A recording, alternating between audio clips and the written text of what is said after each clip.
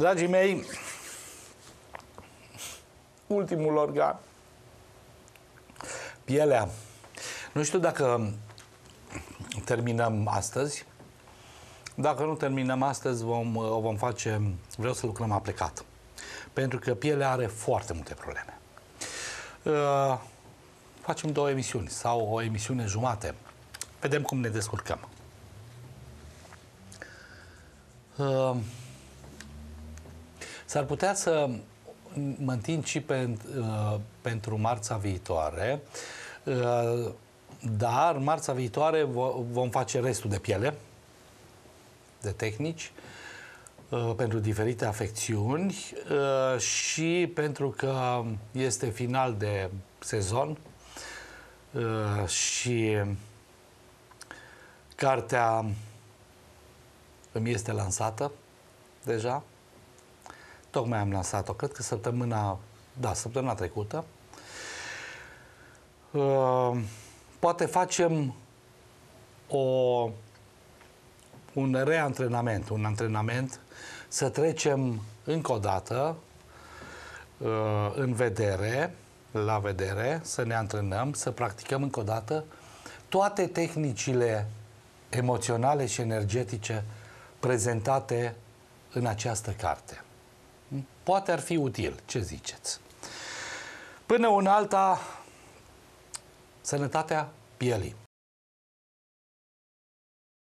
Este organul cu suprafață cea mai mare și reprezintă atât stratul protector al organismului intern, a cei în interiorul meu, dar și zidul care delimitează clar spațiul meu vital și care lasă să transpară fidel și inconștient starea mea interioară emoțională. Pielea mea este oglinda vieții mele intime, cartea mea de vizită. Încă o dată. Modul în care arată pielea mea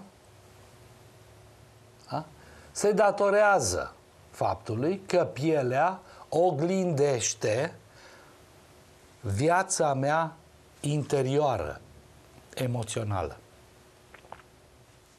Punct. Dacă sunt o persoană blândă, pielea mea va fi ca tifelată diafană. Dacă am o sensibilitate emoțională foarte mare, atunci și pielea mea va fi foarte sensibilă. Dacă sunt o persoană severă cu mine și cu ceilalți, un om dur, pielea mea va fi și ea dură și groasă și zgrunțuroasă.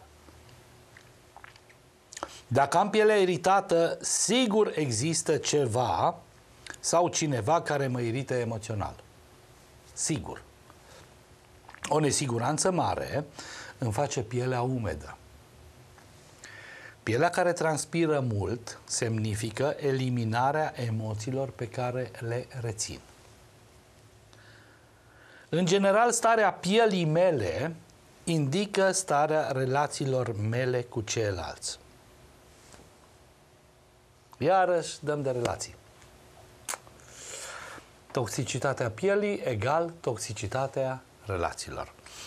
Mai, în mod, să vă spun ceva, în mod normal, digestia și eliminarea, excretarea emoțiilor se face acolo unde se petrece și digestia și excreția alimentară. Stomac, intestin subțire, colon, rect, care este tractul digestiv. În mod normal, acest uh, uh, uh, tract digestiv, adică nu, invers, în mod normal, la toată majoritatea persoanelor, tubul digestiv de digerare și eliminarea emoțiilor, bune, rele, se suprapune egal, identic și precis peste tubul digestiv fizic. Bună oară! Dacă eu trăiesc o emoție de genul, eu nu pot să înghit așa ceva ce comportamentul șefului. Nu pot să înghit azi, nu pot să înghit mâine. Ha, avem în creierul nostru mare, în capul nostru, un creier de reptilă. Se numește creier reptilian, care este foarte vechi, atavic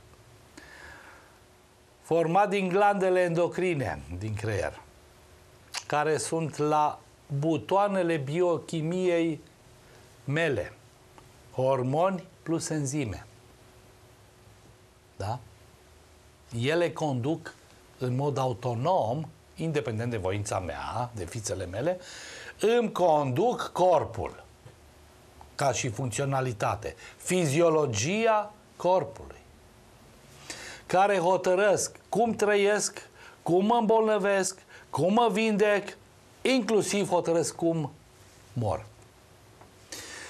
Ei bine, creierul ăsta reptilian care este într-o teacă, într-un creier mai măricel, dar și ăla vechi, ăla e mamiferic, care se numește sistemul limbic sau creierul limbic, ăsta nu știe de glumă. E cam prostănac, dar foarte puternic. Cu reptila din mine, Tiraurnosaurus rex, cu șopârlița din mine, treaba stă cam așa. Ăsta știe patru programe. Patru. Atâta știe, nu știe multă carte. Mor de foame, să nu cumva să mor de foame, toate satavice. Furie, agresivitate, lupt, frică, o iau la fugă și perpetuarea speciei. Adică acțiunile noastre intime. Deci patru. Orice emoție avem noi. De genul, nu pot să înghit ce, ce mi-a spus șeful astăzi. Nu pot să înghit comportamentul soacrămii. Nu pot să înghit uh, com, uh, ce vorbesc ăștia la politică, cu alegerile. Nu pot să înghit, nu pot să înghit, nu pot să înghit. Sistemul limbic zice, hopa, stăpânului lui uh, sau stăpânei i-a rămas un os în gât. Așa interpretează. Cu termen de mâncare. Ce fac atunci? Fie încep să tușesc, spasmodic să elimin osul în gât, fie am reflux gastroesofagean, fie subconștientul meu, respectiv sistemul limbic, că la subconștient, habar n-am de el, dă o poruncă, ia să luăm un șpan, inginerii și meseriașii știu, să iau un șpan dintr-un tub interior ca să îi mărești diametrul. Ca să poată să treacă osul, se comandă răzuirea peretelui interior al esofagului. Drept urmare apar rănile, inflamația, infecția esofageană. Dar eu n-am niciun os în gât. Eu nu pot să înghit ceva emoțional. Hai să zicem că înghit. Ajunge în stomac emoția, ca și bolul alimentar. În stomac, ce să vezi? Eu nu pot să diger așa ceva ce mi se întâmplă. Creierul reptilian zice, stăpânul, stăpâna, ce ne facem? Are o copită de antilopă în stomac. Aia trebuie ori eliminată, senzație de vomă, reflux gastroesofagean, sau hai să o digerăm. Păi, comandă că e la butoane, să mărește de 100 de ori. Cantitatea și concentrația de acid clorhidic, care este fermentul principal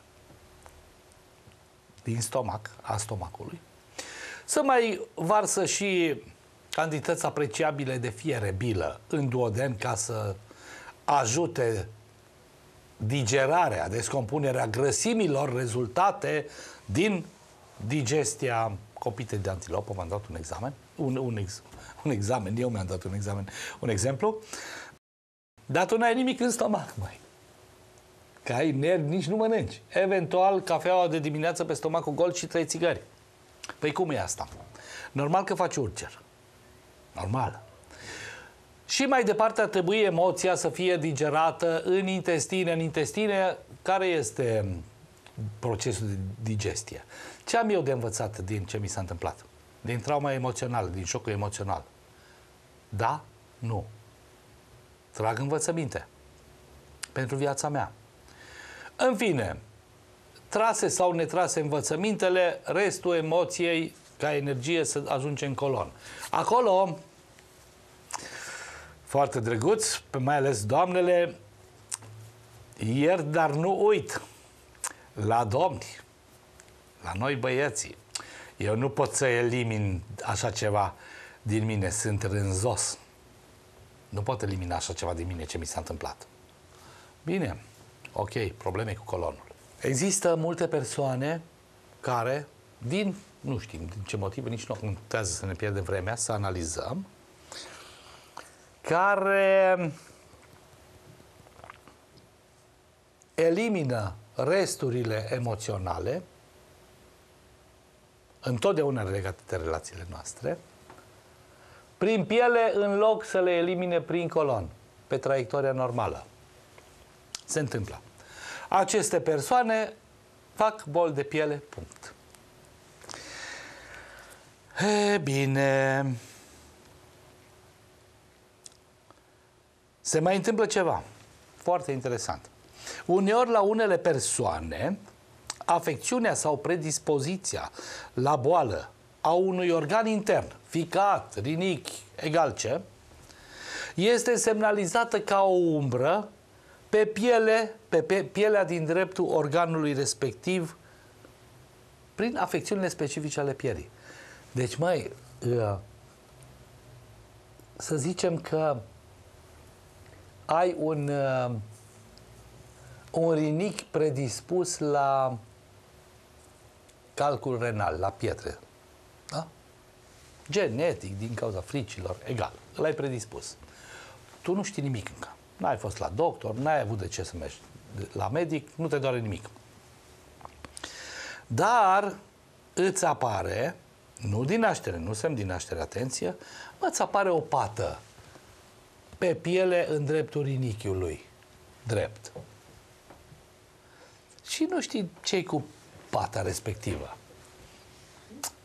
De multe ori pata nu are nicio legătură cu sănătatea pielii. Este emisia anomaliei bio amprenta, nu emisia, amprenta anomaliei bioenergetice patogene a rinichiului înainte de a se îmbolnăvi. Este foarte interesant treaba asta. Ehm, pielea, fiind un țesut moale, este legată de energia mentală-emoțională. Deci exprimă nesiguranța mea, incertitudinile și grijile mele cele mai profunde. Este interesant de analizat care strat al pielii este afectat, pentru că pielea, știți cu siguranță, are trei straturi. Epidermă, stratul de suprafață da, pe care îl atingem, ă, derma, mai în profunzime, și hipoderma, care este în contact cu mușchii. Am înțeles? De asta se zice ac hipodermic. Un ac scurt care ajunge doar în zona hipodermei, deci la granița interioară a pielii. Dacă este afectată epiderma, partea pe care o pot atinge. Asta indică o situație din trecut în care a existat o separare dificilă de cineva sau de ceva, de o situație. Deci, pe suprafața pielii, doar, da, afecțiunea, iritația, mă duc cu gândul la trecut și caut un moment în care m-am separat de cineva. Stratul următor, derma, care e mai în interior, dacă este afectat, indică un eveniment pe care l-am perceput murdar în viața mea. Când este afectată hipoderma, ultimul strat, cel din interior, deci un loc mai apropiat de oase, acest lucru indică o scădere a respectului meu față de mine însum, însă, o devalorizare a propriei persoane, încă o dată pentru că este cu skepsis. Epiderma, probleme la suprafață. Despărțire în trecutul meu, separare brutală de cineva. Da? Mi-a venit acum uh, iarna pe ger.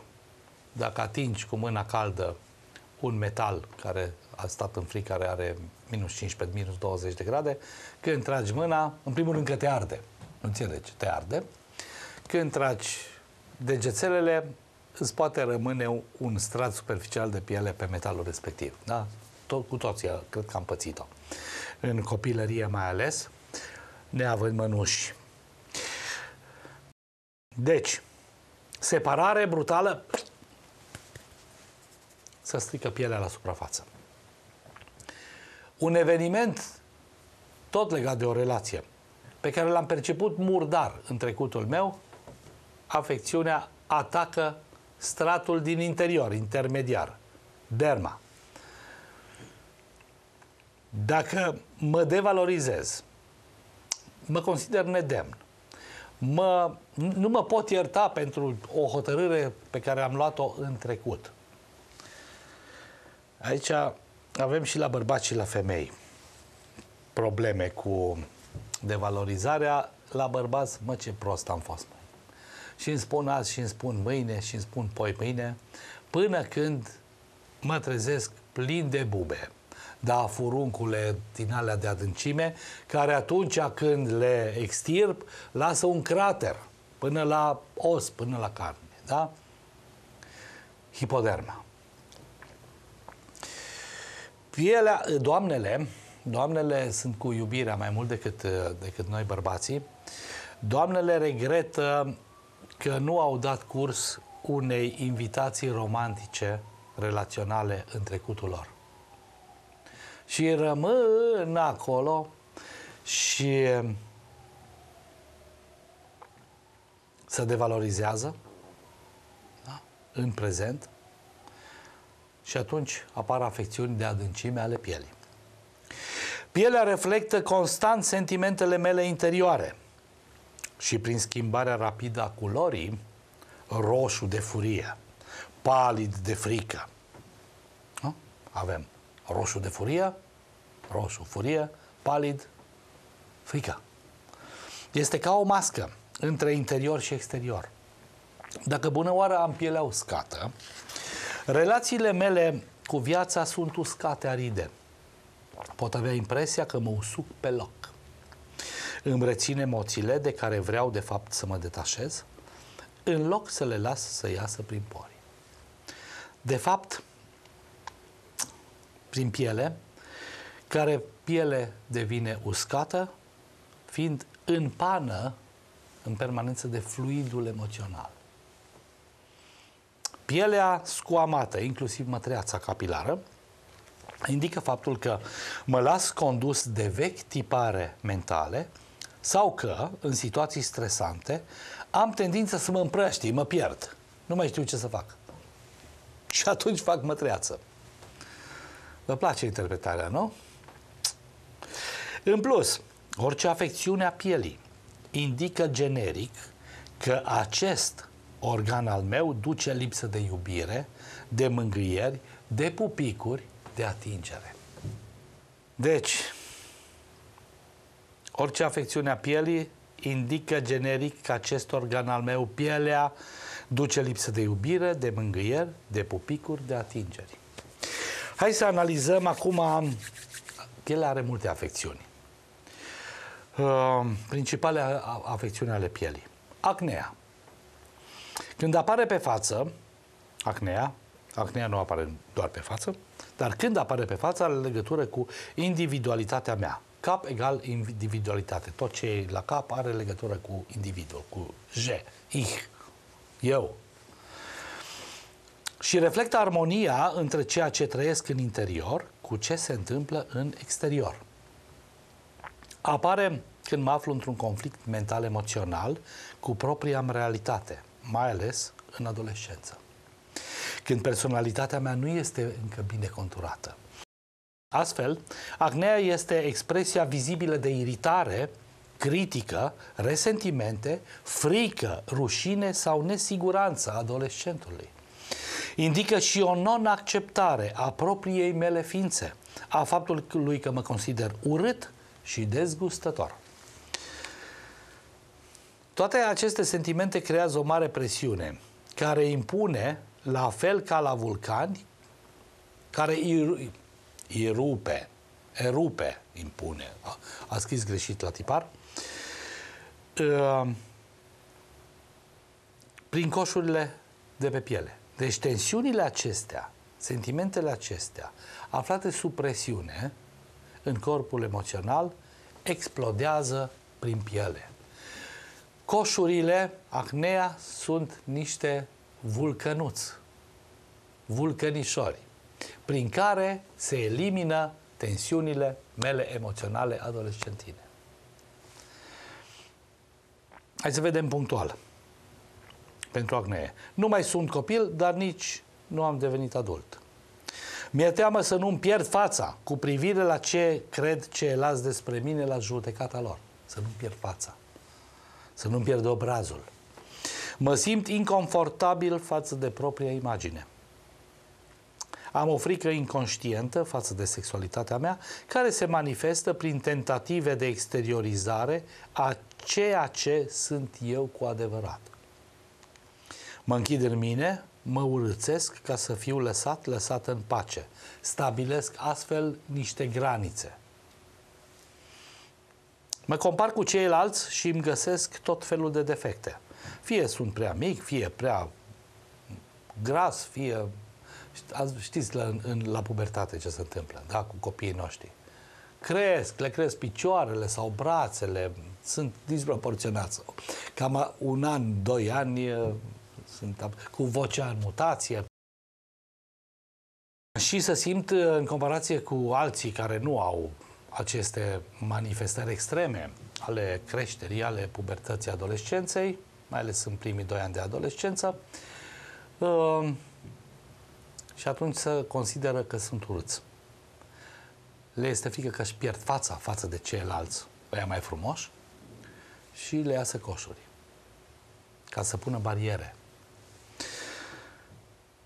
Mă simt controlat și, și dirijat de părinții mei într-un mod excesiv. Mă simt controlat și dirijat de părinții mei într-un mod excesiv. Dar acnea poate apărea și pe alte zone ale corpului. Foarte interesant, pe spate, dacă apare, indică trecutul meu, fricile și angoasele mele anterioare. Când apare pe piept, acnea are legătură cu temerile mele față de viitor. Da? Ce frumos! Și ce... E normal, pe piept. Pieptul este în față. Da? În fața mea este viitorul. Teamă de viitor, din punct de vedere emoțional, coșuri, acnee pe piept, pe decolteu. Dacă sunt în spate, coșurile am, are legătură cu evenimente din trecutul meu. Și acum pauză. Device-ul acesta torsor original, să știți că funcționează pentru ochi că am o degenerascență maculară și de când îl pun aici, în frunte, îl leg și dorm așa cu el până dimineața.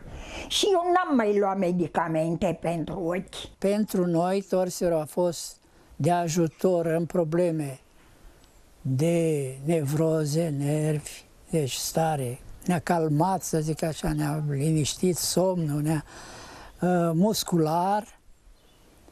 Poate și în privind, da, cu inima, cu tensiunea, am observat îmbunătățiri. Am uh, redus uh, destul de mult din uh, medicația alopată. Uh, folosind torserul, am, uh, mi s-a ameliorat uh, durerile, uh, cel puțin la coloană, pe care așa, și uh, glicemia mi-a scăzut destul de mult, somnul mi s-a îmbunătățit foarte mult, e ca un somnifer uh, acest torser îl așez cu partea pe care scrie torser către piele. De obicei îl țin la spate, la coloană, acolo am probleme mai deosebite. Mă durea foarte mult în partea stângă aici, sub coastă, și nu știam dacă e de la pancreas, dacă e de la colon, dacă e... Și știu, asta s-a rezolvat, am pus acolo. Nu știu ce m-a durut, dar mie mi-a trecut. Portă timpul la mine și noaptea îl pun sub pernă, nu, nu mă, nu mă mai pot despărți de el. Înainte făceam uh, foarte mari crize noaptea de inimă, trebuia să plec la spital. E, acum, de când am torserul, n-am mai fost la urgență, niciodată. Deci eu vă sfătuiesc pentru orice problemă de acest tip, un torser este un bun la casa omului.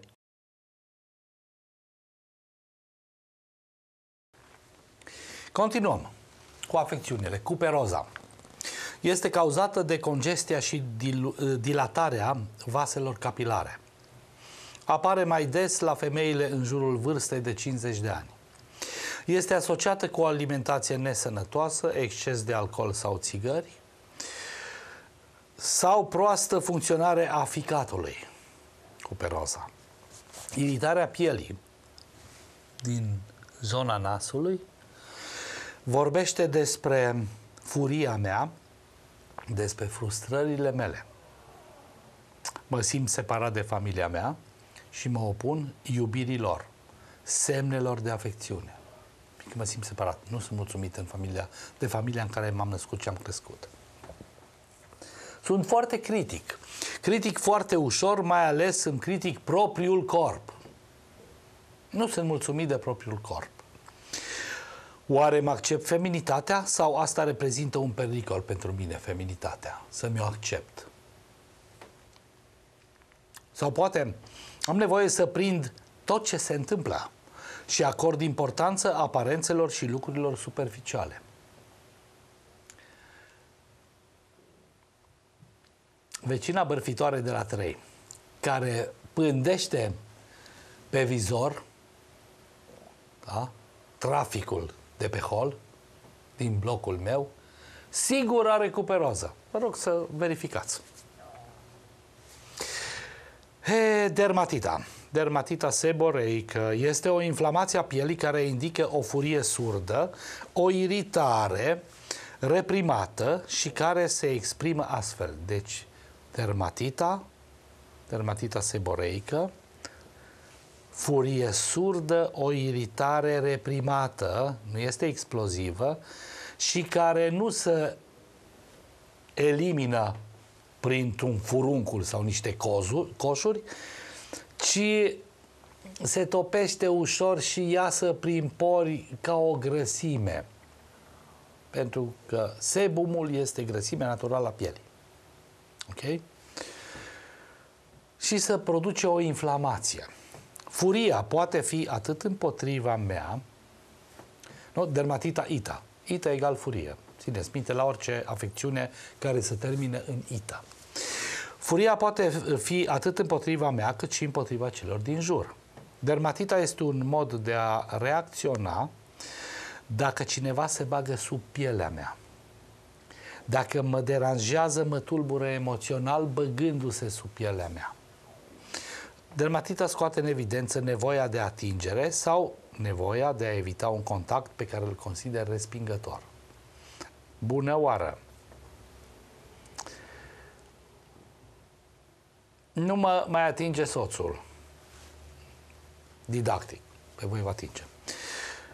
Și eu simt nevoia acută de atingere. Vreau să mă atingă și să-l țin lipit de mine. Dermatită seboreică. Sau nu suport să mă atingă persoana respectivă. O persoană. Nu pot să fug. Poate este un coleg de serviciu, poate e șeful meu. Și mă tot atinge. Eu consider atingerea respingătoare. Și atunci, ca să nu mă mai atingă, îmi îmbolnăvesc pielea. Bine. Dermatita seboreică are legătură și cu relația cu mama, fie că aceasta că aceasta mă respinge, fie că este supraprotectoare. De multe ori, dacă îmi conștientizez nevoile și le împărtășesc și celorlalți, dermatita dispare de la sine. Știți că este foarte dificil de lucrat cu bolile de piele. Cel puțin eu nu lucrez ușor cu bolile de piele. Pentru că sunt foarte camelionice. Fiind legate de întreaga gamă de emoții din interiorul omului, o curăț într-un loc, pleznește în altă parte. Și este destul de dificil să găsești toată paleta emoțională, adică să poate găsi, dar e mult de lucru cu pielea. Mie nu prea îmi place să lucrez cu pielea, că e foarte mult. E nevoie de multe terapii. Din această cauză am, uh, am băgat în uz și ceaiurile, tincturile și o să vedeți uleiurile esențiale de plante. Uh, și terapiile durează mult. Însă, orice afecțiune a pielii poate fi rezolvată. Orice afecțiune. Dar faptul că nu-mi place să lucrez mie pe piele nu înseamnă că nu lucrez. La mine e simplu. Vine un om, îmi cere ajutorul, egal ce afecțiune are.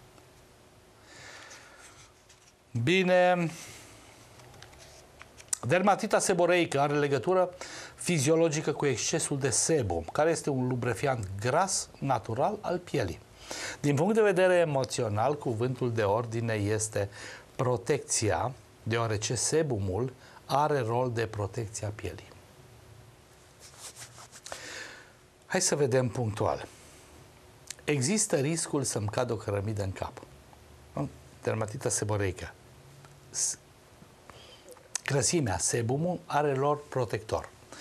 Există riscul să-mi cadă o cărămidă în cap, bineînțeles, nu fizic. Manifestă existența unui secret periculos. Am fost martor sau am participat la o fraudă și mi este teamă că voi fi demascat. Sau am un exces, o supraîncărcare a unei situații pe care nu o mai pot tolera. Sau am grijă de cineva în mod excesiv, fără să mă ocup întâi de propriile mele nevoi. Sau resping apropierea fizică de ceilalți, fie datorită unui complex legat de fizicul meu, fie din dorința de a ascunde unele aspecte ale personalității mele. Am terminat cu dermatita și dermatita seboreică. O boală cruntă, lupus. Există mai multe forme de lupus, fiind o boală inflamatorie care poate afecta un număr mare de organe, nu doar pielea. Este o boală autoimună. Lupusul este o boală autoimună. Când spun boală autoimună, mă gândesc la un fapt tulburător. Celulele mele, soldeței sistemului meu imunitar, limfocitele, globulele albe, cunoscute generic sub denumirea globule albe, nu mai identifică celulele bune ale organelor mele ca fiind prieteni. Le identifică ca fiind dușmani și le distrug. Orice boală autoimună este reflexia prezenței în străfundul subconștientului a unei tentative de sinucidere. Ești atât de nefericit încât nu-ți mai pasă dacă trăiești sau dacă nu. Și dacă insisti cu prosteala asta, că mai bine mor, mai bine mor, mai bine mor, universul se manifestă prin sistemul tău imunitar și zice bine, să începem. Boala autoimună, orice boală autoimună. Când apare la piele, această afecțiune, lupusul, se numește lupus eritematos cronic. Eritematos cronic, de la eritem. Iată cauzele emoționale ale lupusului pe piele de, sau de piele, eritematos. Trăiesc o stare de descurajare profundă, de ură sau rușine față de mine însumi. Starea mea de ură își are originea într-o culpabilitate emoțională puternică care mă roade pe interior, îmi roade sistemul imunitar. Mă consider o persoană rea, păcătoasă, care nu merită fericire. Sau Mă simt neputincios, neputincioasă și nu văd nici o ieșire posibilă, nici o soluție și atunci renunț, mă predau, mă sinucid în fața oportunităților vieții. Moartea este o formă de scăpare, de escapism și refuz să accept iubirea și iertarea față de mine sau față de ceilalți. Ce trebuie să fac? Pentru ca să scap de lupus eritematos? Accept să învăț și să, să învăț, să mă iubesc și să mă iert. Etapă esențială pentru vindecare. Fără asta poți să iei orice medicamente. Pot să cer ajutorul unor persoane competente pentru a începe procesul de vindecare interioară, duhovnic, psiholog, terapeut. Până când încep să mă descurc singur în procesul de autoiertare și de autoiubire. Apoi mă reconectez la puterea interioară și îmi retrezesc ambițiile de lup tânăr. Fiți atenți ce interesant. Mă fac din nou lup tânăr, făcându-mi recunoscute talentele și potențialul meu. Da? Mă redescoper. Mă întorc pe dos, atenție la exprimare, mă întorc pe dos ca o mănușă de contesă. Îmi întorc pielea pe dos. Sau năpârlesc ca și șarpele, îmi las trecutul să plece. Bun.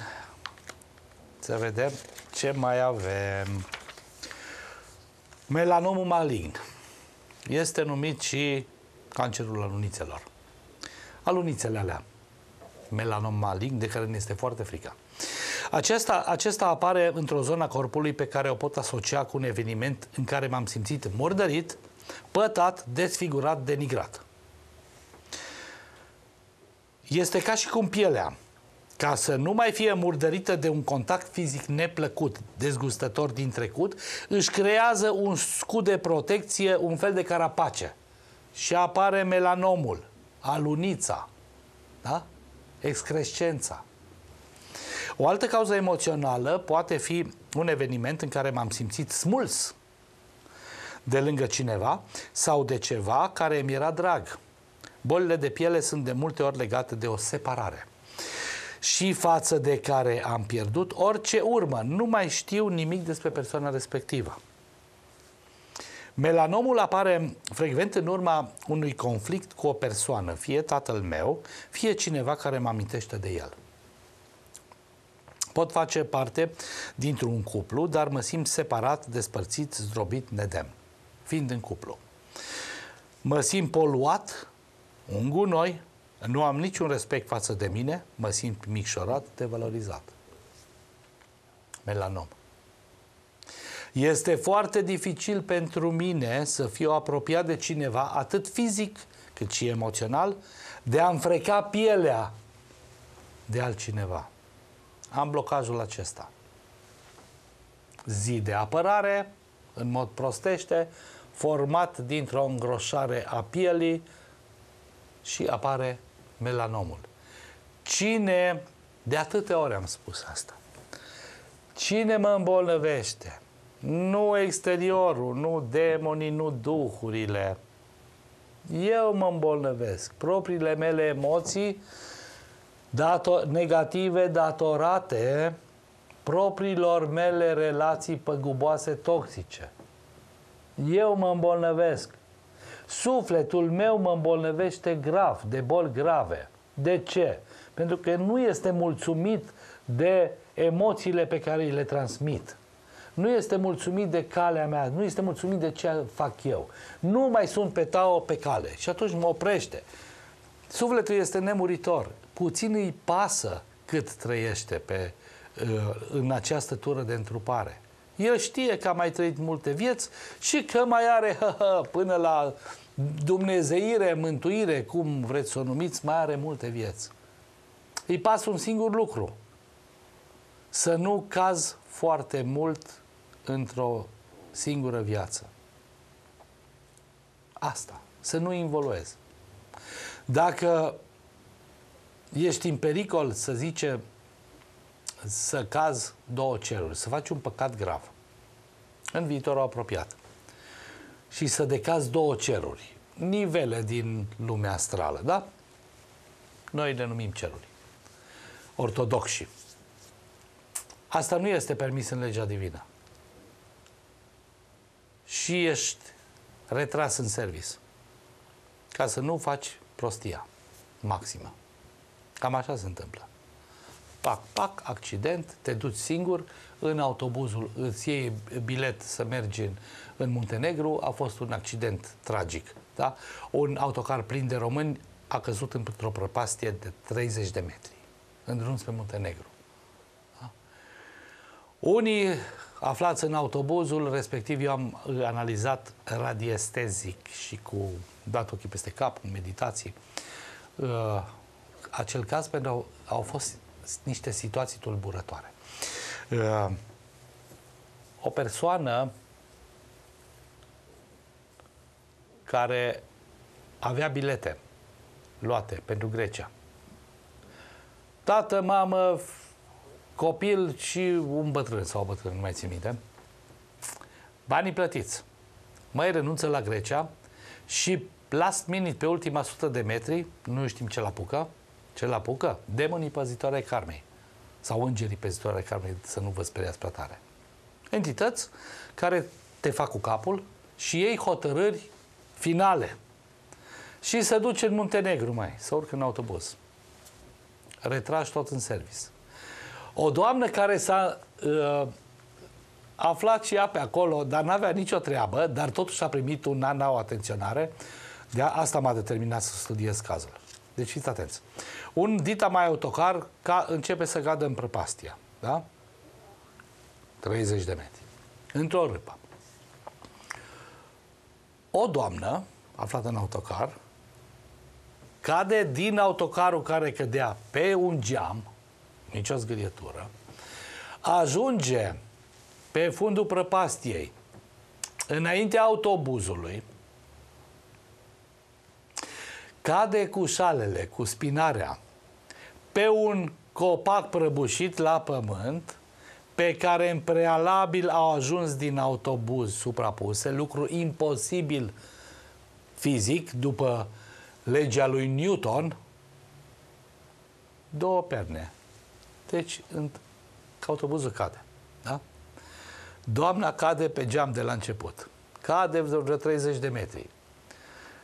Trec pe lângă ea două perne, tot provenit din autobuz, care se așează frumos pe un copac și doamna aterizează cu fundulețul pe, cop- pe perne respective. Nimic, nici n-a leșinat. Vă dați seama cum lucrează, Doamne, Doamne? Este fascinant. Eu nici nu știu de unde am pornit cu asta. Continui. Uh, bine. Psoriazisul. Ăsta face ravagii. Psoriazisul, în general, sunt hipersensibili și am mare nevoie de iubire și afecțiune. Sunt hipersensibili. Cei mai mulți uh, bolnavi de psoriazis suntem noi bărbații. Care nevoie nu mi este împărtășită. Sunt sensibil, delicat. Vorbeam acum câteva emisiuni că bărbații în Europa și în America, în țările dezvoltate, devin tot mai puțin bărbați.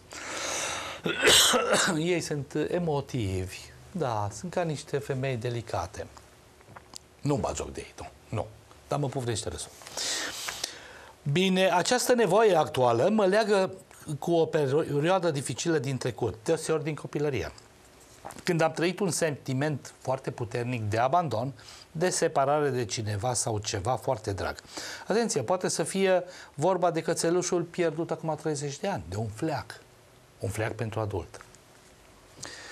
Nu uitați, încă o dată, light motivul. Piele, separare bruscă. Piele, respingere. Nu mă atinge.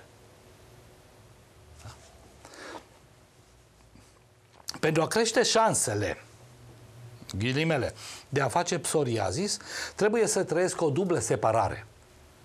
Deci la psoriazis căutați o dublă separare. De cele mai multe ori de două persoane diferite sau o dublă separare față de aceeași persoană. Da? Uh, săptămâna asta am avut ieri. Ieri am avut uh, o doamnă cu afecțiune ale pielii, psoriazis și altceva, vă spun că nu-i secret că nu dau numele, vitiligo, care a experimentat o dublă separare de tată. Da? Tatăl a părăsit-o când, era, când avea vreo trei anișori, traumă pentru ea, își iubea tatăl, normal. A revenit, s-a împăcat cu mama după doi ani și a mai stat o săptămână și iară s-au despărțit. Copilul s-a simțit părăsit de două ori. A doua oară a fost crâncen. În două săptămâni a început să se frece, spasmodic, a apărut psoriazisul și, foarte interesant, fiind la școală, mergând la școală, în primii ani de școală, uh, o deranja foarte tare, normal, cum arată pielea ei, pentru că era foarte extins pe antebrațe și pe genunchi. Nu putea să poarte rochițe, vara era o tragedie. Și atunci, ca să devină invizibilă,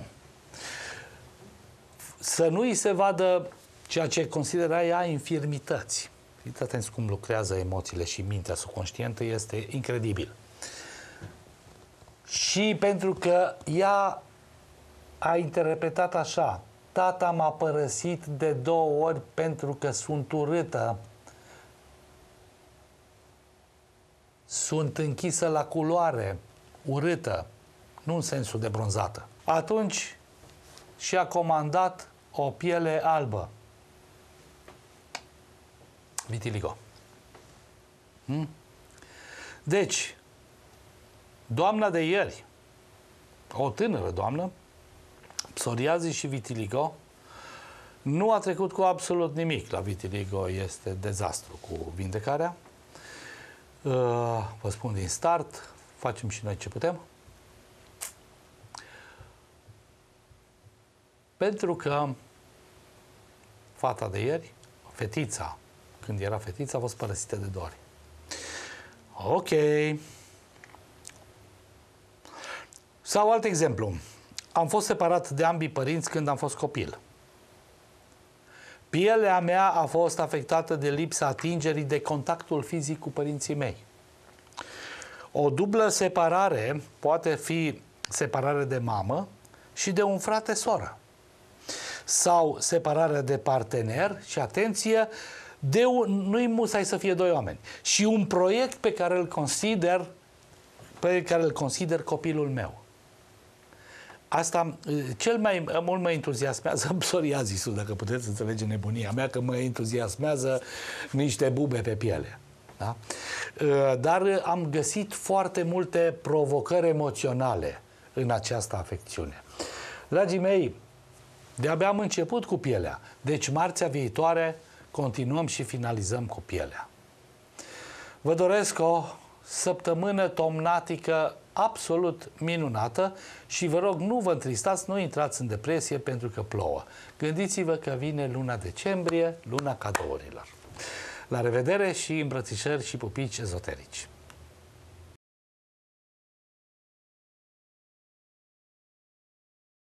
Bună seara, dragi prieteni! Bine ne-am regăsit la Tehnologiile Sănătății. Emisiunea din care aflați cum să trăiți mai natural, mai sănătos, mai fericiți, alături de toți cei dragi inimii dumneavoastră. Alături de mine este Minerva, colega noastră extraordinară. Uh, am început un periplu inițiatic pentru tot ceea ce înseamnă sănătatea, bunăstarea, fericirea dumneavoastră, o incursiune în ceea ce se numește medicină astrologică, uh, cronobiologie inițiatică, uh, ceva extraordinar, puteți să vă modificați în modul ăsta succesul în momentul în care urmați o terapie, în momentul în care aveți o necesitate de o operație chirurgicală, cum să evitați niște probleme foarte grele care pot să apară și, de asemenea, cum să vă optimizați capacitățile. Ce ar trebui să facem? Pentru că este foarte important, uh, totul este accelerat, toată lumea trăiește impresia că timpul de fapt s-a condensat, că ziua nu mai are 24 de ore, ba da, are 24 de ore, doar că suntem noi puțin mai ocupați și în momentul ăla, sub influența stresului, debutează diverse boli. Fiecare organism, fiecare nativ, fiecare semn are o anumită predispoziție spre boală. Și atunci trebuie văzut ce, cu ce putem să-l ajutăm. Și bineînțeles, cine poate să ne ajute altcineva decât prietenul nostru uh, imunocub și bineînțeles acest dispozitiv torset pe care noi îl folosim și pentru care, repet, eu sunt foarte, foarte încântată. Dar asta le-am mai prezentat și data trecută, oricum o să facem referire în continuare pentru că la un moment dat o să ni se facă sete vorbind foarte mult și cu voia dumneavoastră o să pornesc aparatul ca să energizez uh, apa, pentru că ea va trebui să stea 30 de minute după ce se oprește și abia apoi să o consumăm. Îți spuneam la pauză ca și vorbim despre orele de maximă, maximă activitate a organelor medicale care se practică, practică în astrologia uh, chineză, să știi că eu zic că și cu puțină osteneală și cu puțină atenție ele pot fi aplicate și în uh, astrologia tropicală, pentru că astrologia tropicală este o astrologie matematică, la aici totul este în funcție de, și mai ales dacă vorbim de un multiplu de 2, două ore cât durează acest lucru pentru fiecare organ în parte. Eu care mi-am făcut debutul în astrologie cu astrologia medicală, de fapt, că asta mi-a asta mi-a plăcut. Poate și pentru că am trăit în mediu, mama fiind medic, am copilărit prin spitale.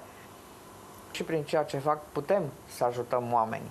Ai uh, punctat un element uh, inițiatic special, uh, acest interval de două ore, da, care se regăsesc în de 5-6 mii de ani este deja menționat în ceea ce se numește medicina chineză, în medicina tibetană chiar mai, mai vechi și la fel în medicina ayurveda indiană.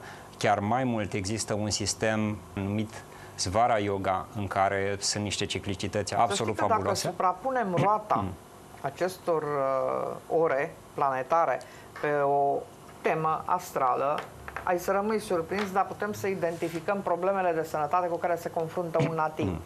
Avem această surpriză ca acest corespondent de, de două ore să se regăsească în mod uh, uluitor uh, atât în partea uh, de medicină inițiatică chineză, când vorbim de acupunctură, avem chiar și cărți deci niște uh, lucrări excepționale. Aici sunt uh, soții Tureanu, Luminița și Valentin Tureanu, microsisteme, timpi optimi și puncte extrameridian în uh, acupunctură o carte uh, fabuloasă. Ei au mai scos și alte lucrări în obstetică, ginecologie, ținând de acupunctură. Acești microtimpi, fără, deci cei care ar practica acupunctura, fără să aibă această inițiere, adică când anume din timpul zilei să realizezi o anumită dinamizare pe acupunctură, presopunctură, electropunctură, da? Ideea este că nefăcând la orele precise indicate pentru a obține rezultate, o să spuneți, doamne, am făcut, nu știu, uneori funcționează, uneori nu funcționează. Inițierea face ca uh, aceste uh, modalități de acțiune să fie 100% cu rezultate excepționale. Deci incredibil. Da. O să spuneți, domnule, 5, 6 mii, 10 mii de ani, nu știu, lucrurile cam vechi, adică știința nu mai evoluează.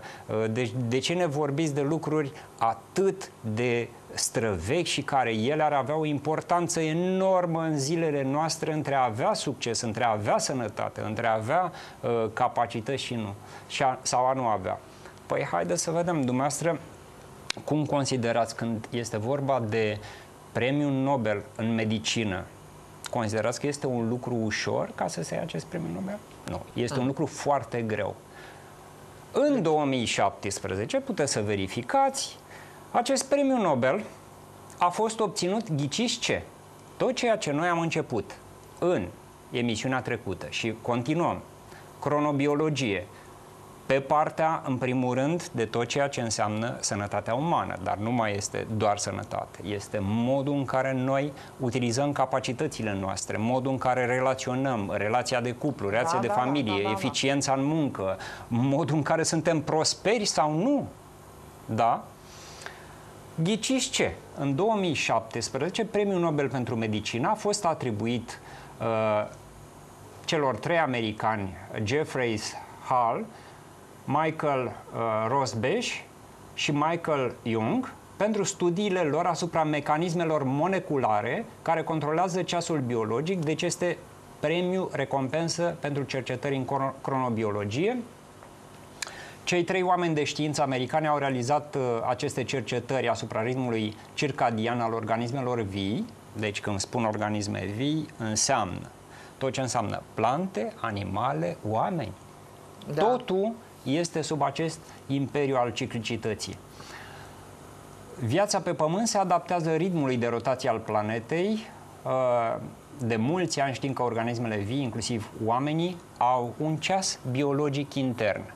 Deci cei, chiar și cei care n-au un ceas pe mână, au un ceas în interiorul lor.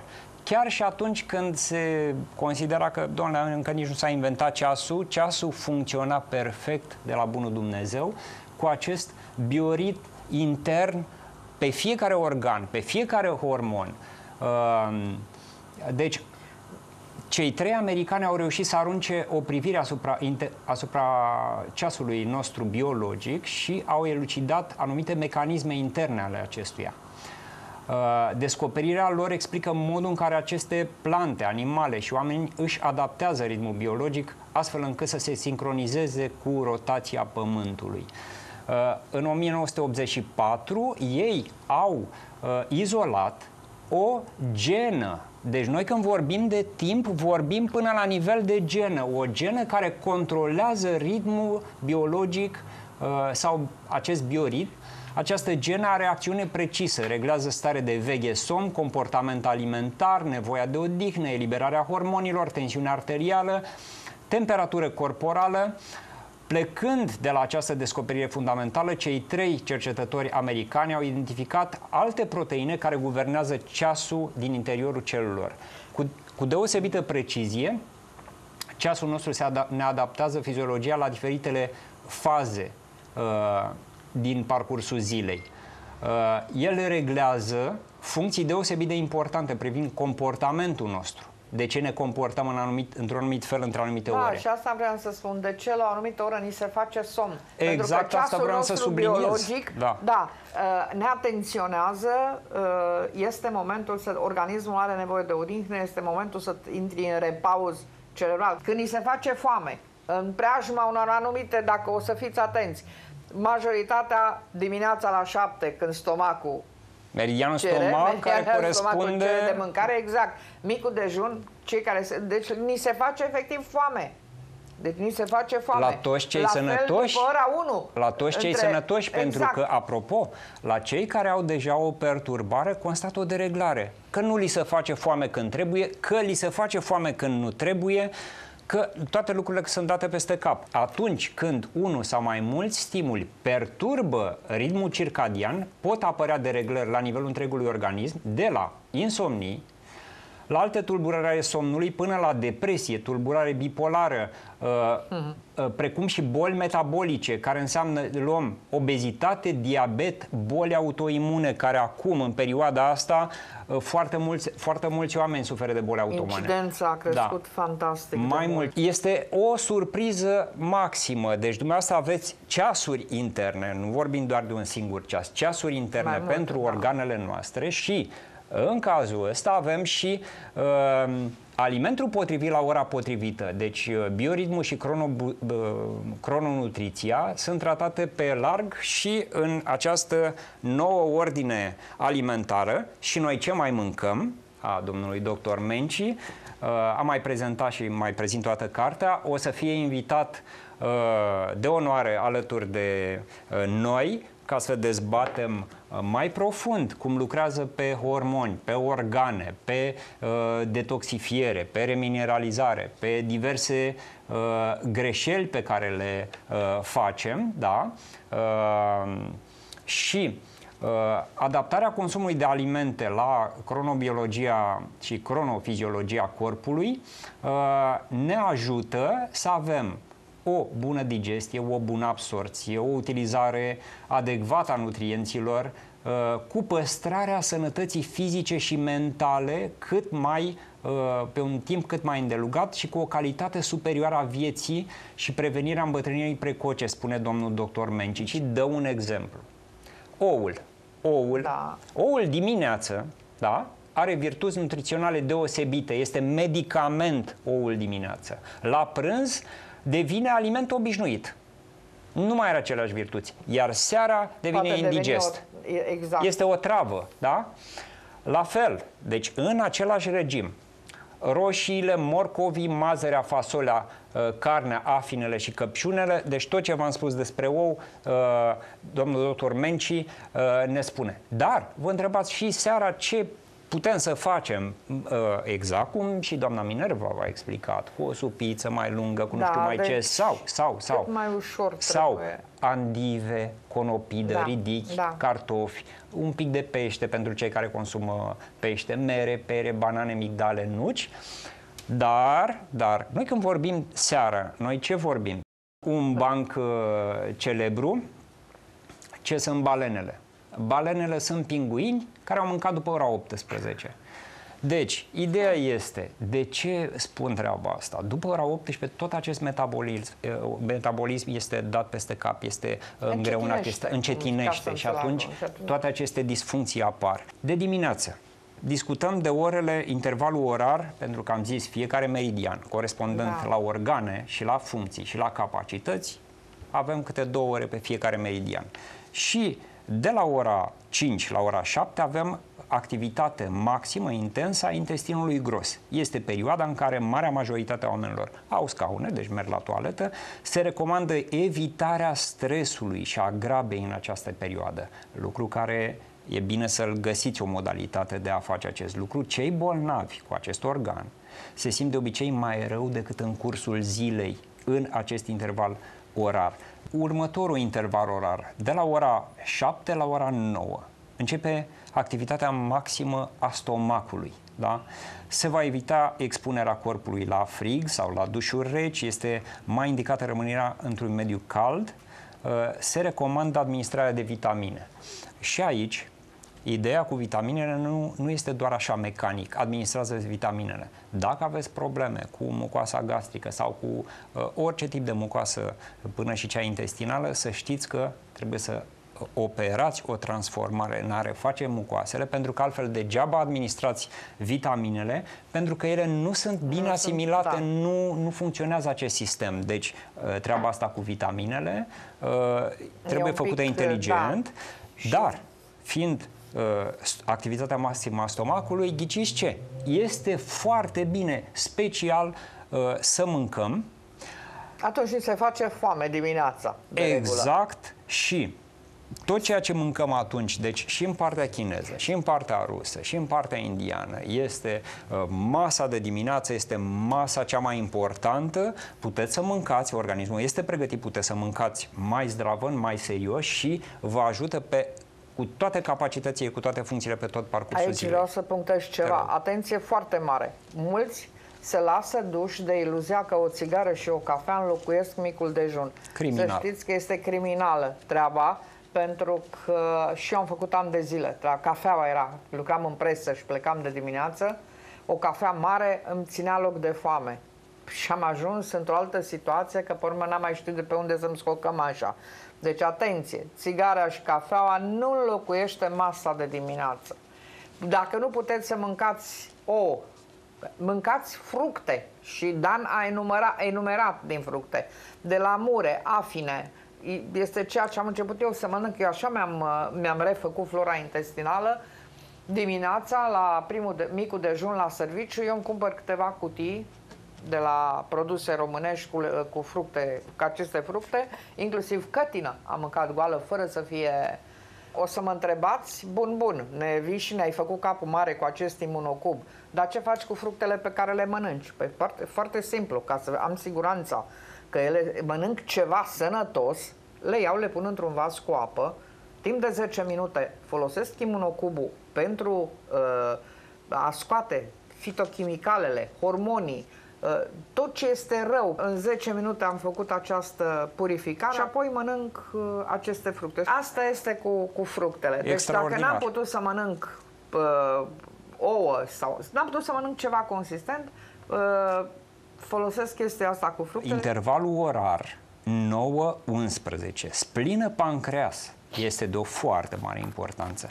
Acestea sunt activate la maxim. Uh, acum, în intervalul ăsta. Este total contraindicat consumul de alcool. Se recomandă consumul de fructe și miere de albine. E singura perioadă din zi când organismul poate digera fără efort dulciurile. Ce se evită? Se evită totuși efortul fizic. Începând cu acest interval orar, avem o capacitate enormă de a ne concentra, de a memora, de a procesa, de uh, a sintetiza ca și capacitate de muncă, de învățare, de... Uh... Da, pentru că zaharurile se transformă odată că sunt absorbite în sânge, apoi la nivel cerebral și crește această capacitate, dar o, o chestiune, dacă îmi dai voie, simpatică. Am o colegă care tot timpul, domne, când se făcea ora 9, se pleoștea. Că scad, îi trozneau, fă, măi, ce cu tine? Și la un moment dat mă aude pe mine spunând uh, al alteri, uite, între 9 și 11 splina și pancreasul. Dar știți, zice, eu n-am pancreas, n-am uh, splina. A avut operație. A fost operată. Păi zic, de aia tu ai, pentru că pancreasul preia funcția splinei și logic că are o dublă, dublă uh, asasinare, ca să zic așa, o dublă, dublă muncă, pentru că el face și ce făcea splina, face și ce face, uh, face pancreasul în mod regulat și atunci ea obosea. E, neavând splina, ea una, două se plăștește după ora 9. Până la ora 11, dar zici că e cu ceas. La ora 11 zici că s-a trezit din somn, se îndreaptă de spate și se apucă și își face munca. Și zic, dar ce mai iei tu pe acolo? Că vedeam că e cu... Îi lua câte o linguriță de miere. Dar ce nu știa de treaba aceasta. Ea o făcea intuic, așa îi spunea organii, ceva din inconștient îi spunea să exact. facă treaba asta. Pentru că noi vorbim de amplificarea tuturor capacităților de atenție, de vigilență, de memorie, de concentrare, de uh, acțiune de sincronizare a emisferilor cerebrale, de creativitate, da?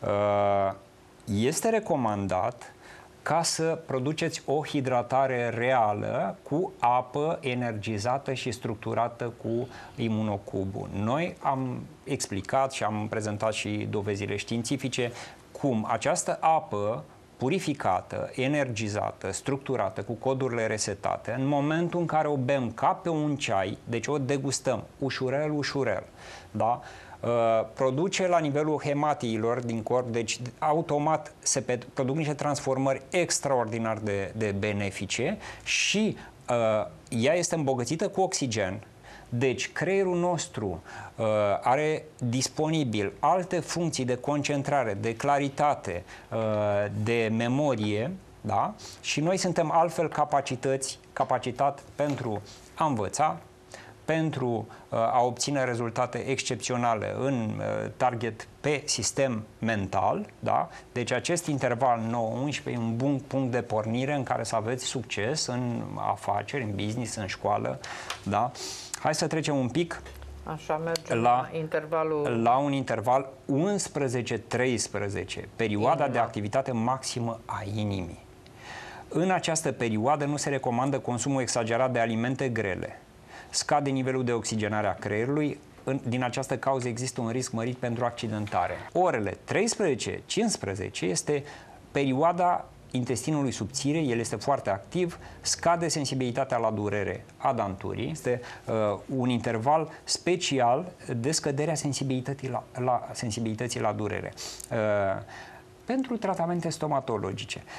Capacitatea de a avea o activitate fizică este pe o curbă ascendentă. În acest interval 13-15, când intestinul subțire este activ, Noi suntem perfect pregătiți pentru o masă puternică, pentru masa de prânz și a nu mânca, a nu acorda timp pentru această ciclicitate și a nu mânca când trebuie și a avea această repetiție greșită, un obicei greșit.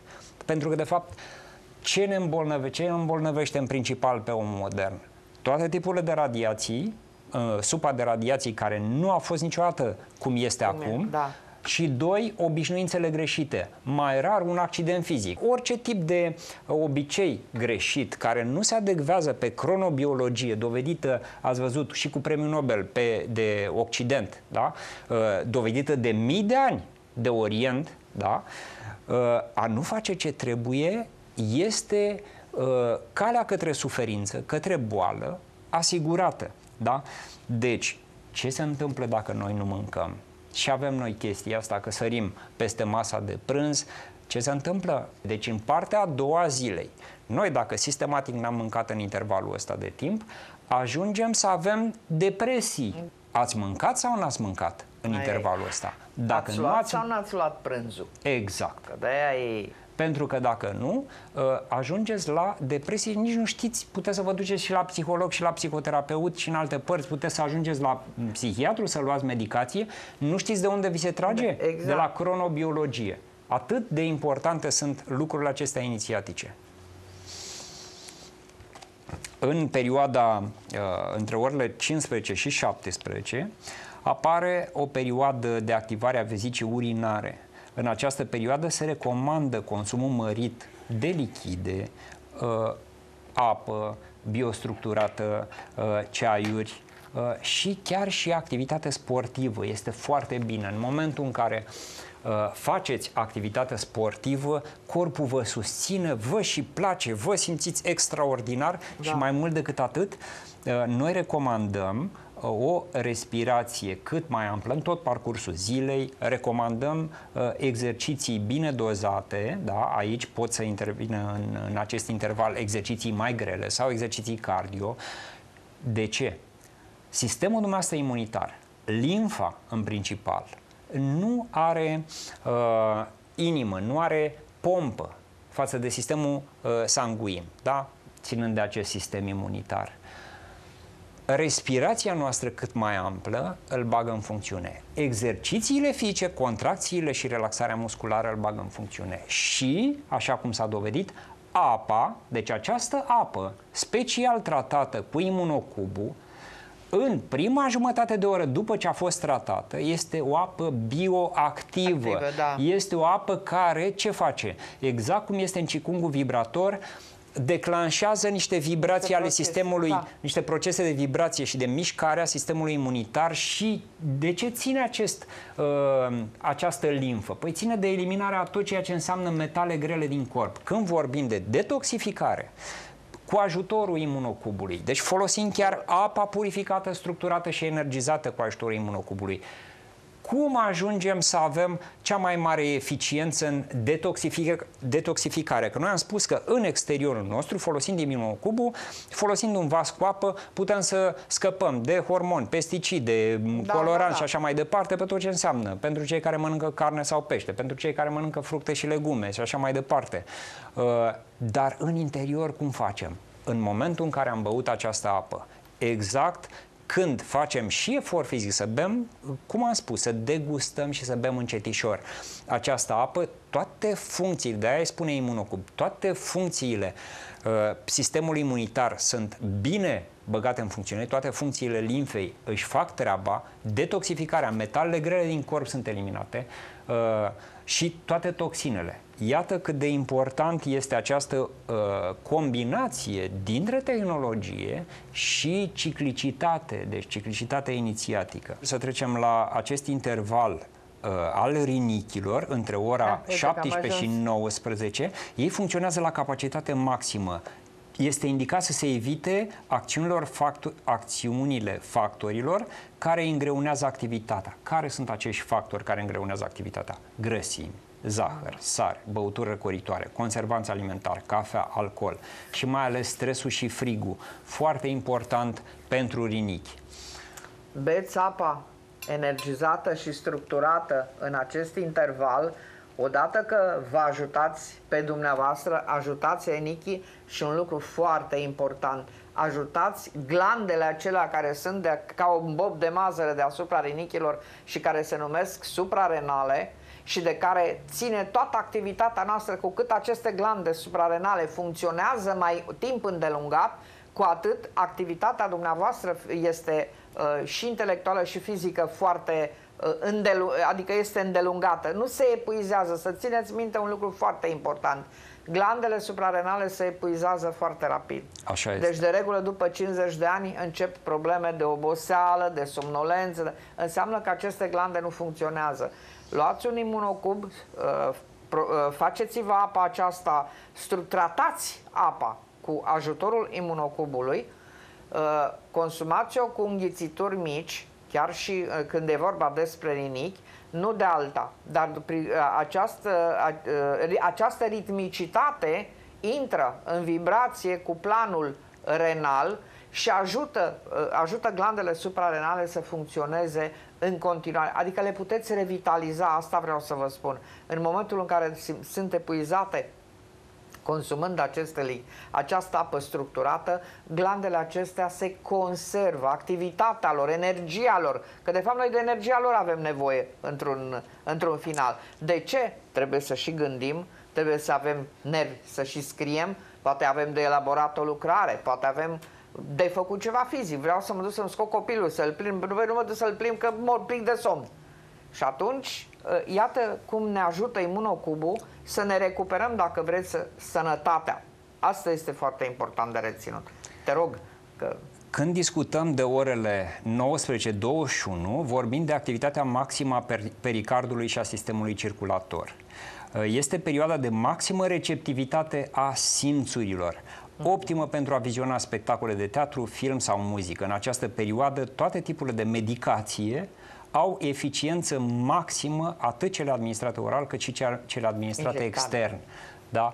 Uh, Deci ideea Unghientele este... sunt extraordinare pentru cei care au dureri articulare în acest interval până la ora 21, când vă pregătiți de culcare, când vă aerisiți cu ajutorul imunocubului camera, vă pregătiți, un, fa, apelați la unguente dacă aveți dureri de articulație și veți vedea surpriza că aceste unguente uh, funcționează. Că mulți sunt că nu, că nu funcționează. La mine, păi nu funcționează pentru că nu le folosești. Tu le folosești când te doare. Nu le folosești într-un anumit ritm ca să creezi ciclul acela de atenuare al durerii. Uh, Chiar mai mult decât atât, acum vă puteți explica și atracția. De ce în perioada respectivă doriți să mergeți la un spectacol, la un Da. teatru, la un Pentru că film, vă împreună cu relaxați, familia vă și toată, destindeți, și toată exact. familia e de acord, vrea, haide să ieșim, da, pentru că tot, tot sistemul acesta hormonal, tot sistemul energetic pe meridian este pregătit pentru a savura, exact cum savurați un fruct, uh, savurați și vă hrăniți cu un act ex- estetic, uh, cu un arte- artă, cu energie exterioară. Exact. Ca să Uh, Ea consolidați funcționează exact. și, și arta este tot un medicament. Da, da, da, Uh, da, Este arta are vorba de a efectele- audia un concert, de a efectele vedea un terapeutice. spectacol, de a vedea un film extraordinar. Uh, Terapia prin atenție, atenție că uh, se spune că suntem ceea ce mâncăm, e, mai nou suntem și ceea ce vizionăm, că mâncăm cu ochii, savurăm cu ochii. Și ceea ce gândim. Și ceea Sau ce gândim. ceea ce citim. Că... Trecem mai departe. Intervalul orar 21-23 este perioada de activitate a meridianului 3 focare. Organismul se pregătește de o dihnă, deci nu se recomandă nicio activitate care l-ar putea reactiva. Adică exerciții fizice dinamice grele, consumul de alimente grele sau excitanți, cafea, fumat, alcool. De la ora 23 la 1 noaptea e perioada de maximă activitate a vezicii biliare. Cei care au probleme cu acest organ în această perioadă se trezesc din somn și nu pot adormi. Deci, oricând în parcursul nopții aveți uh, pur și simplu, nici nu vă amintiți de ce, aveți un coșmar, aveți ceva, dar vă treziți, doamne, te trezești sistematic la ora 12 sau la ora uh, 1 jumate sau la 3 sau la 4 și nu știi de ce, nici nu-ți explici, uh, o să vedeți modul în care se corelează cu probleme de sănătate pe meridianul respectiv, pe organele respective. Și încă ceva, când bila este bolnavă, o să vedeți că nu o să mai puteți să face, mergeți prin mulțime. Când vă duceți la cumpărături, vi se face rău, dacă sunt, mergeți într-un spațiu, mergeți la o nuntă, mergeți la o biserică, mergeți, nu puteți să stați pentru că vi se face rău. De ce?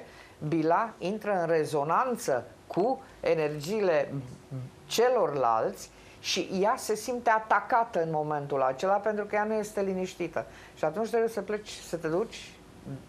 Unii, unii dintre noi vomită, ceea ce nu este indicat, dar nici nu este indicat să stai cu mâlul și cu pietrele la purtător foarte mult timp. Deci atunci, dacă simțiți acest lucru, că atunci când vă duceți cu metrou, când vă duceți cu tramvaiul, când mergeți la un spectacol, când sunteți în foaierul de la operă, uh, când sunteți la biserică, când sunteți la o nuntă și vi se face rău în mulțime, să știți că este o mare problemă cu vezica biliară. Și atunci trebuie urmărit acest interval, nu cumva și între ora 1, uh, 1 la ora 1 te trezești, 1, 1 jumate, clar, nu este numai, este și ficatul. Este care și va urma ficatul și de și- ce, de ce Minerva uh, ne-a amintit de această combinație între uh, vezică biliară și ficat. Iată de ce. Pentru că în intervalul acesta uh, 1-3 noaptea se activează ficatul. În această perioadă oxigenarea creierului este minimă.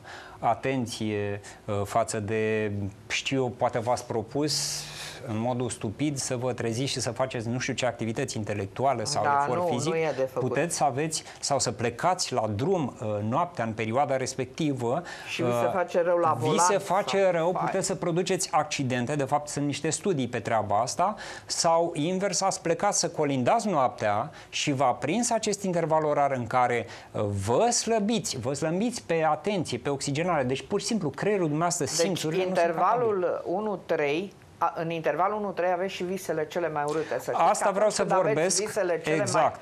Mai, înseamnă că organul respectiv, ficatul și bila sunt cu probleme. Iar Deci, un alt semnal. Cei, cei când care aveți suferă, coșmaruri, când, da, da. cei care suferă de acțiuni hepatice au un somn zbuciumat și chiar se trezesc în această perioadă uh, într-un mod uh, surprinzător. Da? Ficatul și bezica biliară, Minerva ne-a amintit de intervalul care se leagă uh, 11-1 și acest interval 1-3. Deci vezica biliară și ficatul.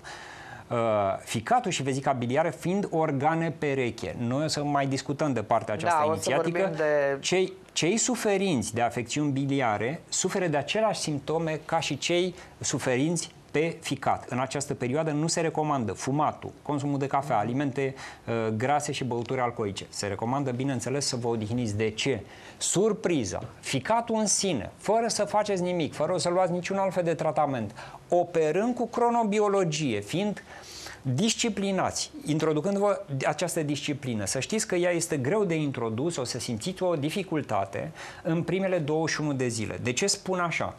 Pentru că toți cei care primesc o inițiere pe cronobiologie da, și se disciplinează, constată 21 de zile le vine foarte greu să introducă un nou obicei sănătos Da, în da. viața lor. După 21 de zile e o surpriză. Apare o lejeritate. Ce se întâmplă în acest interval de 21 de zile?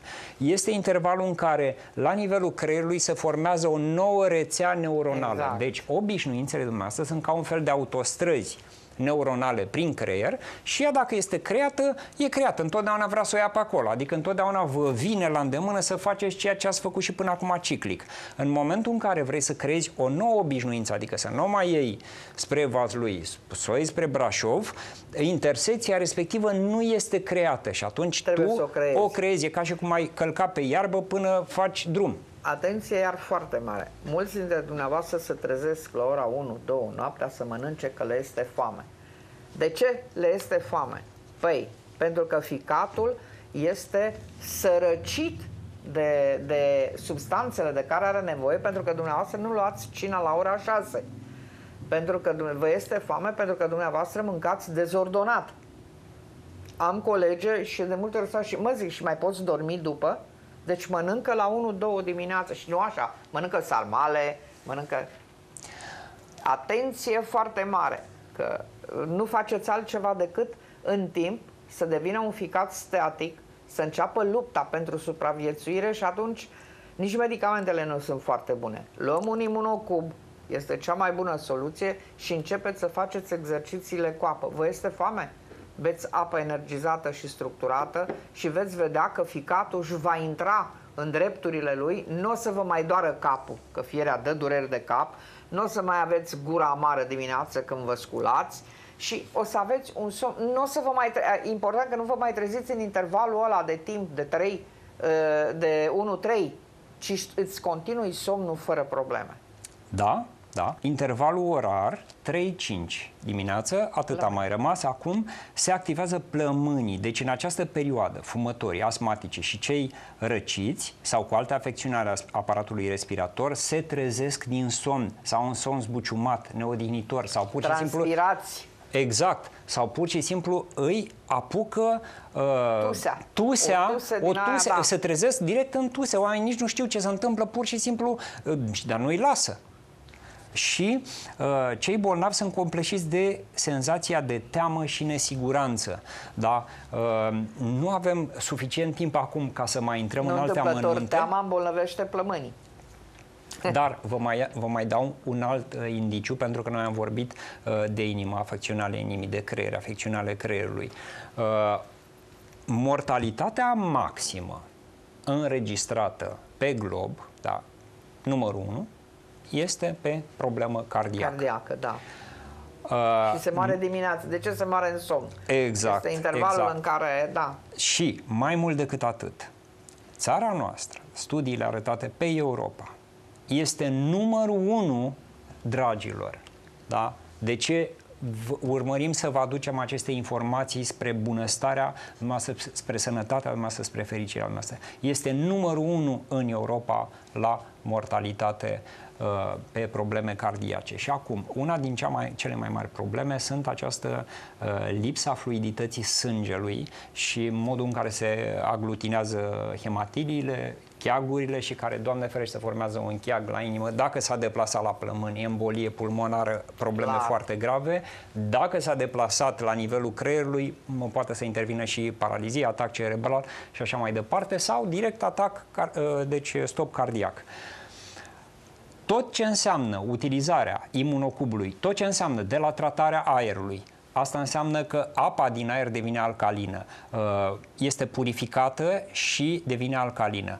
Uh, alimentele tratate cu imunocubul și, exact cum v-am povestit, tot uh, tratamentul apei în care purificăm, energizăm, da, resetăm și codurile a tot ceea ce înseamnă informații nedorite, da, și alcalinizăm apa, această apă și utilizarea imunocubului în toate aceste secvențe pe care le-am prezentat, ghiciți ce?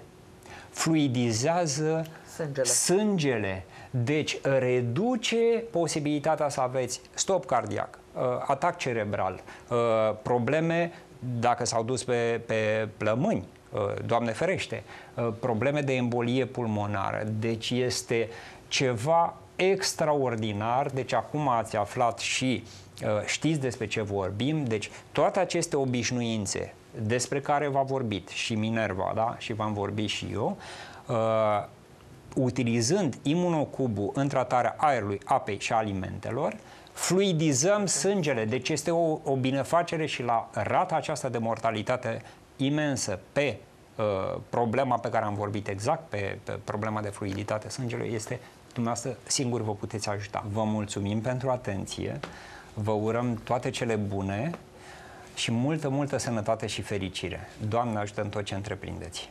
Și nu uitați, apă energizată de la Imunocub, cea mai sănătoasă.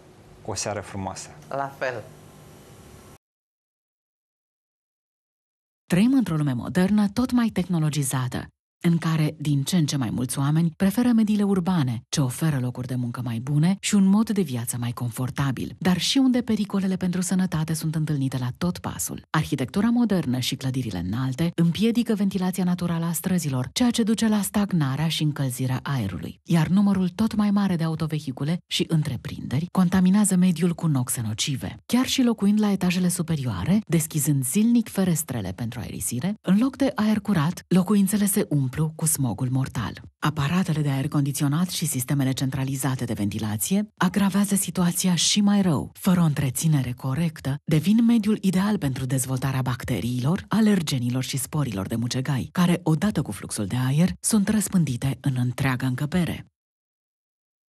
Dar aceasta nu este singura amenințare la adresa sănătății noastre. Produsele alimentare din supermarketuri conțin o mulțime de chimicale nocive. Legumele și fructele crescute intensiv sunt pline de erbicide și pesticide. Iar carnea de pui, porc, vită și pește conține hormoni artificiali de creștere și antibiotice, care nu se elimină nici după fierbere. De asemenea, se știe că apa de la robinet nu este potabilă și prezintă pericole pentru sănătate. Mirosul neplăcut și gustul metalic sunt rezultatul conținutului ridicat de clor și particole de rugină, desprinse de pe țevile de alimentare. Astfel, apa, sursa esențială a vieții, devine cauza principală a îmbolnăvirilor, alergiilor și îmbătrânirii premature a organismului.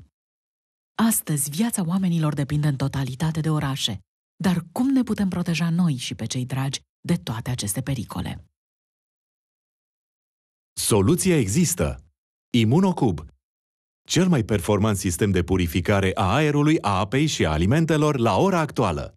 Cu Imunocub totul este simplu. Îl conectați la rețea și apăsați pe buton. În doar 15 minute veți respira un aer curat ca cel de munte, veți bea o apă pură ca de izvor și veți consuma alimente bio sănătoase. Imunocub este un sistem unic care folosește principiile geniale, ecologice și sigure, împrumutate direct de la natură. Spre deosebire de alte aparate, Imunocub nu suflă aer prin cartușe, ci generează impulsuri de înaltă frecvență care neutralizează compușii dăunători de la nivel molecular prin descompunerea lor în particule inofensive. Imunocub este cel mai puternic purificator de pe piață. Acoperă o suprafață de până la 90 de metri pătrați și consumă doar 10 W pe zi.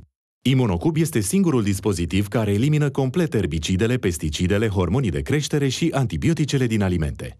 Imunocub purifică rapid apa din rețea, elimină în totalitate clorul, metalele grele, culoarea și mirosurile neplăcute. Distruge bacteriile și virusii, o saturează cu oxigen, o alcalinizează și o face plăcută la gust. Imunocub este singurul aparat garantat 10 ani. Nu folosește cartușe, nu are consumabile și nu necesită întreținere. Cu Imunocub veți respira aer curat și veți îmbunătăți funcționarea plămânilor. Veți bea apă pură și veți îmbunătăți funcționarea rinichilor. Veți consuma alimente sănătoase și veți îmbunătăți funcționarea ficatului. Veți simți o explozie de energie. Sănătatea dumneavoastră se va îmbunătăți vizibil, iar imaginea din oglindă vă va bucura în fiecare zi. Cel mai important lucru în viață este sănătatea. Și asta contează cel mai mult.